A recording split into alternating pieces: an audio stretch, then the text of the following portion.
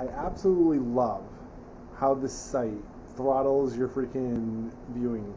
Okay, I watch videos on here all the time, but I watch like six of them, and then like the seventh and eighth one just kind of sit there for 25 minutes. The apps or the uh, AI filters generally don't work. Uh, it just seems like ever since I've gotten up over you know a certain amount of followers, that the site itself has become shit. Like I don't get it. You know, like how are we supposed to do things, move forward, and make money on this site if it's doing this?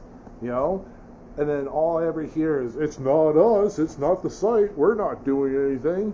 When clearly it's the site. I just don't understand.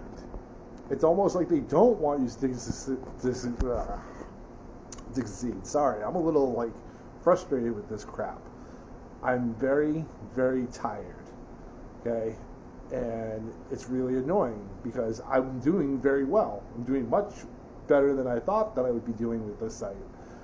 But for some reason, videos get throttled. Supposedly my internet connection isn't good. I've got full internet like most of the time, so I don't understand.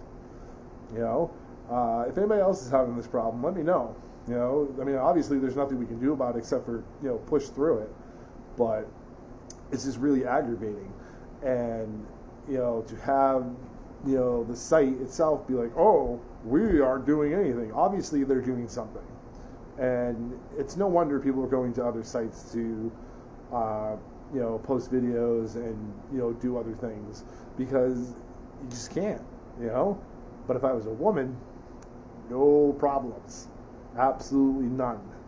So uh, yeah, just let me know what you guys think, and if you guys are having the same problems, you know. Another thing too is they like to take sounds off videos.